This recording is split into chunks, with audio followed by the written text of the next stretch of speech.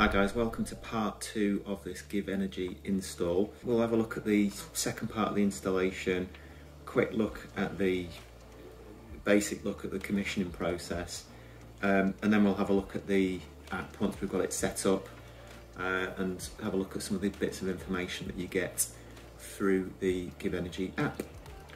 Don't forget to hit like and subscribe and if you want any advice on a similar installation don't hesitate to get in touch. Right, so we're just getting the battery bracket on the wall now. Um, you can see it's a bigger bracket than uh, for the inverter. Uh, now it's not going to be taking any weight of the battery. It's, um, you know, I've just measured it so that uh, the unit will just lift and slot on and then the feet, the rubber feet will be on the floor. So this is just to stop the battery pack from sort of tipping forward and uh, potentially crushing someone, something, or even worse, you know, two and a half grams worth of battery goes kaboom. Um, now, rather than try and chase this flat, these two fixings on this side, you can see I'm actually, I'm not using the Rawl bolts that it came with, I'm just using big, big chunky screws. Like I say, it's not taking any weight, it's just to keep the bracket on the wall so that it, when we hook the battery on it doesn't tip forward. So these two fixings on this side, perfectly lined up. Uh, it's pretty much vertical it's level. Um, whereas over this side, you can see there's a massive gap there. It's stuck on a rock there. There's a gap there. There's a gap here. So what I'm doing, rather than waste half a day trying to chase this brick flat, just cutting off some little bits of galvanized conduit, just slot there and then screw into that. And that just sort of packs the wall out a little bit. It just means I can get it nice and straight a little bit quicker. Alright, so we've got quite a lot of length on uh, that current transformer tail, but we're not allowed to cut that down or extend it.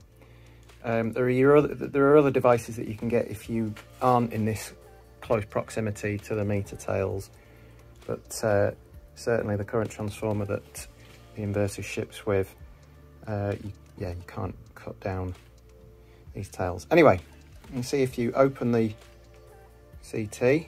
Just lift that up. There's L, an arrow and a K. Now the arrow has to point in the direction of the loads.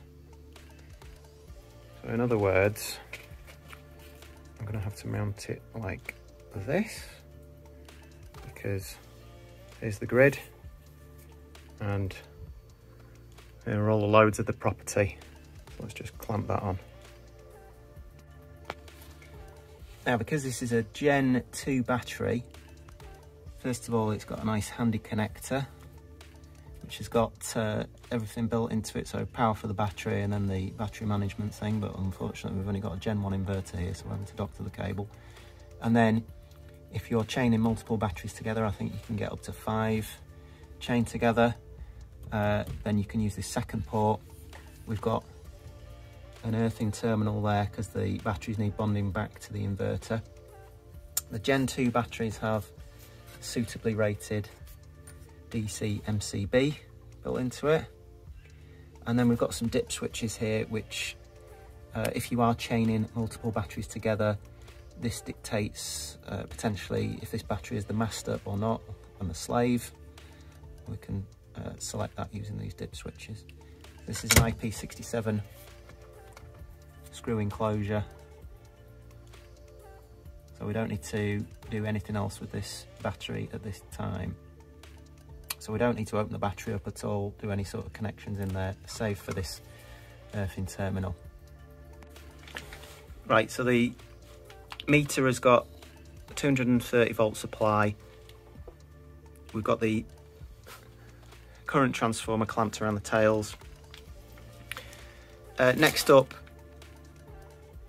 this needs a, data connection back to the underneath of the inverter. Um, so for this we could just use Cat6 cable, just a couple of twisted pairs out of that. So let's get that in now. What I've just had to do here um, is turn the battery on, flip the MCB on, uh, the MCB on, and the advice of uh, the GivEnergy support team because um, there's no indication on these fancy new Gen 2 cables as to which terminal is positive and which is negative. When you chop the end off, there's also no indication on the cable itself. So I've just got my voltage meter just to prove that this is the positive terminal, this is the negative terminal. Apparently if you connect those up wrong, there may be some damage to the battery, so I just wanted to double check that before making the final connections. And you see we start to fit these covers with stuffing glands or compression glands already built in uh, just to house the bare connections. So we've got one here which I'm going to use for the you know incoming supply. One slightly annoying thing because this is a Gen 1 inverter and I've had to adapt the cable um, the actual cables to the battery and the battery management cable run in that in that one cable in this flexible conduit. And because the terminals for the battery and the terminals for the battery management are located in two different places I had to split the conduit revealing these inner cores this is double insulated so that's not a problem. But what I'm going to have to do here is just got a bit of a off cut, a flexible conduit. I'm just going to slice that down the middle, wrap it around this and just tape it up. So it's not quite as beautiful as I would like, but it's necessary. And I've just a bit of gal banding just to support that cable as best I can when these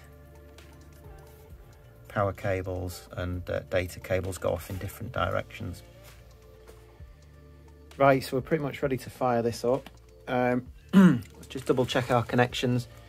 We've got the power coming from the grid and obviously so that the battery uh, can discharge as well. Uh, we've got data coming in from the meter. See what the house is using just plugged in the Wi-Fi dongle. Uh, we've got battery management connection and then power from the battery. We're not using the PV connections. This is just a way for the customer to try and balance the cost of their energy usage throughout the day. And then finally, we've got the inverter bonded to the battery or vice versa. Right, we're in the GivEnergy Cloud that you gain access to when you become an installer. Uh, so first thing I need to do is create a new customer account. I need to register the dongle with that customer's account. So let's get on with that now. Right, so everything's juiced up. Uh, there was just a bit of messing around to do with getting the dongle and therefore the uh, the inverter uh, to recognise the network. Um, so these dongles work on a 2.4 gigahertz network. Um, there's a specific section in the GivEnergy app for engineers, and it allows you to potentially go in and, and use the app to connect, first of all, to the dongle, uh, then to search for Wi Fi um, Wi-Fi networks, but it wasn't picking up this uh, this this customer's network. It's got uh, a Google Home uh, mesh network. It runs on 5G and 2.4 uh, gigahertz simultaneously. I've got great signal down here, but the, the dongle wasn't uh, registering the fact that that was present. So what you can do is using your laptop, you can log on to the the back end um, and actually searching through this method allowed me to, uh, to, to find the network. The problem being, I think that um, the 2.4 gigahertz aspect isn't strong in the basement, so the signal is quite weak, but it seems to have connected now. Right, so now we can go ahead and commission the unit using the GivEnergy portal. So we've created the customer account, we've assigned the dongle to it, the inverter's online, and now we can start the commissioning process. This is a fairly uh, self-explanatory process. You just have to punch in the serial numbers uh, for all of the different devices in the system. Uh, it will go through, it will update the firmware, it will configure the system for you. Right, so we installed this um, a little while ago now. Um, so we've got a bit of data to look at through the app.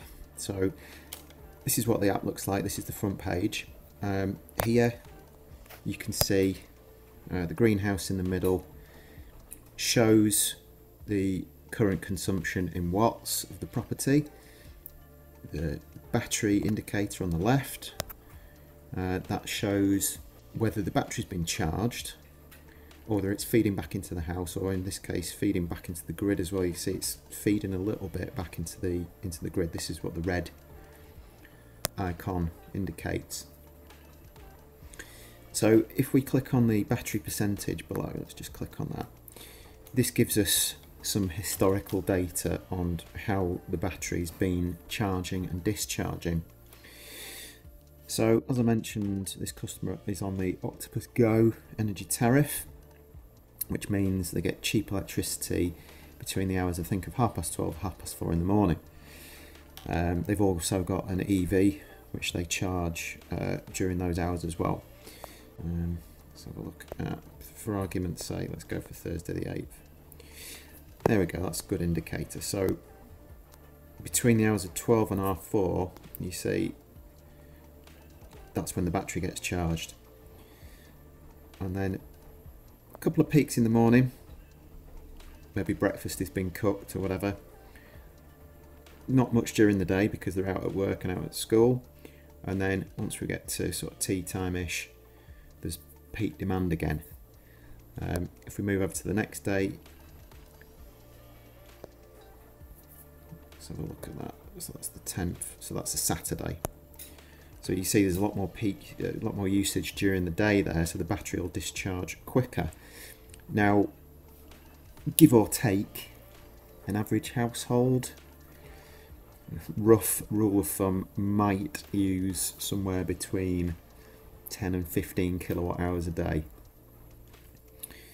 Um, that's obviously dependent on if you've got electric showers, heat pumps, induction hobs. You know, if you've got gas central heating, um, nothing too heavy current using wise pieces of equipment, then a 10 kilowatt hour battery uh, might last you best part of the day. So if you're buying in from the grid, for argument's sake, five, six, seven pence a kilowatt hour between the hours of half 12, half 4, and then discharging it, you're going to be saving a lot of money during the day. In fact, I think this customer did a calculation. I think he's saving about £3.50 a day, which doesn't sound a lot, but obviously, you know, 3.5 times, let's say 31 days, or let's, well, that's conservative estimate, 30 days, you're looking at a saving of about £100 a month. Uh, and so if the cost of this was 5,000 divided by 100, 50 months, uh, you know, 50 divided by 12, it's just over four years the payback on this setup. Um, now, as I mentioned earlier on, I think the cost of this setup has gone up a little bit, but nevertheless, um, you know, yeah, payback period of about four years. Obviously, I'm not factoring in there um, the difference between buying energy in at four pence and buying energy in. I think my tariff at the moment is about 30 pence you'd maybe have to do a bit of a calculation there. But yeah, just a little over four years for the payback time. I don't think that's too bad. I think, off the top of my head, again, I haven't got this spec sheet in front of me, but I think these batteries are supposed to last about 15 to 20 years. So, you know, you've got uh, a lot of money saving after that four years as well. This shows uh, peak power. So generation, obviously there's nothing there. We've not got any solar panels. Um, we've got consumption of the property, we've got battery charge and discharge. So when it's charging, you see that dips below the zero line. When it's discharging, it goes above the zero line. And you see how that sort of marries up with when the house is consuming as well.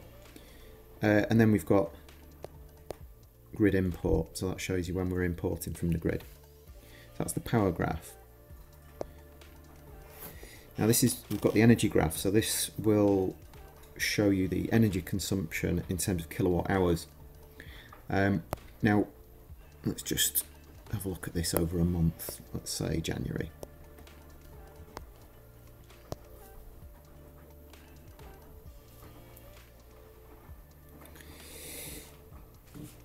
So, um, we've got lots of different pieces of information that we can look at here. Let's look at this one. So this is the total grid import. So this is 909, well 909 and a half, give or take, kilowatt hours this month. It shows you how much the home has used directly and uh, how much has been used to charge the batteries. So let's just do a quick bit of maths here. Right, so I've just uh, pulled up the current Octopus Go rates. Now, between 4.30 in the morning and half past midnight, it's 41.63 pence per kilowatt hour. During the low rate section, is 12 pence a kilowatt hour. So let's just do some calculations.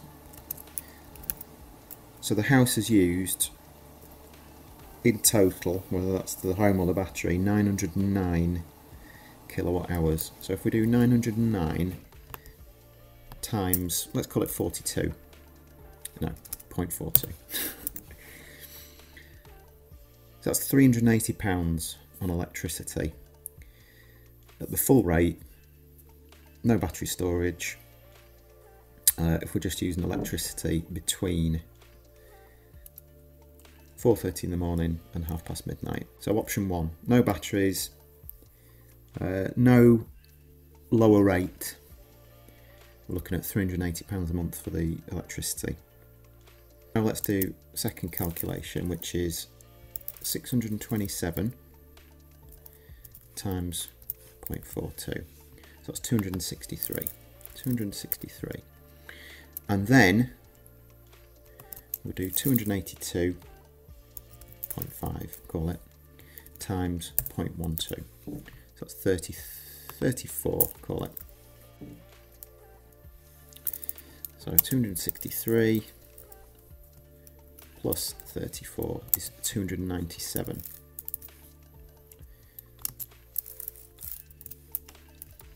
Three hundred and eighty minus two hundred ninety-seven, eighty-three, eighty-three pounds.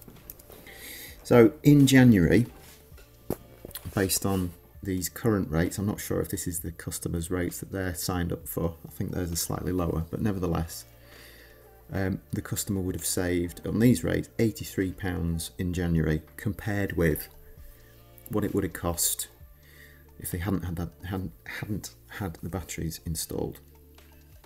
So that just gives you a little flavour of how much money they're saving. Now, what we can do is we can monitor your power usage ahead of time using an energy meter to accurately spec the size of battery that you might need. So these guys in January used give or take about 30 kilowatt hours a day. They've got a nine and a half kilowatt hour battery, so that's accounting for about a third of their usage.